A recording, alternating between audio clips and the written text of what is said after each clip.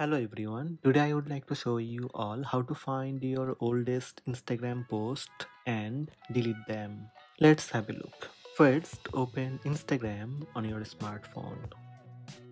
Then tap profile icon on bottom right. Tap three lines menu on top right. Tap your activity.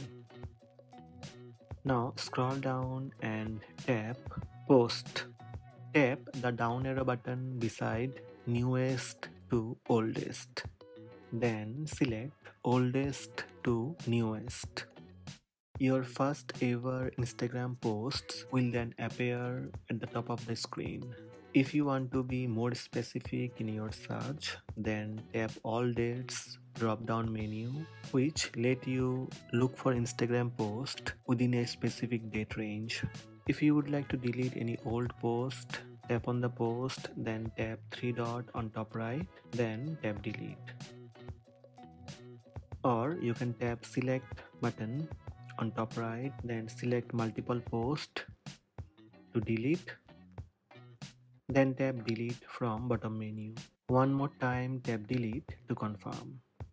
So these are the steps to find your oldest Instagram post and delete them. Hope this video help you. Please subscribe my channel by tap subscribe button. Also tap the bell icon to receive notifications about all new videos.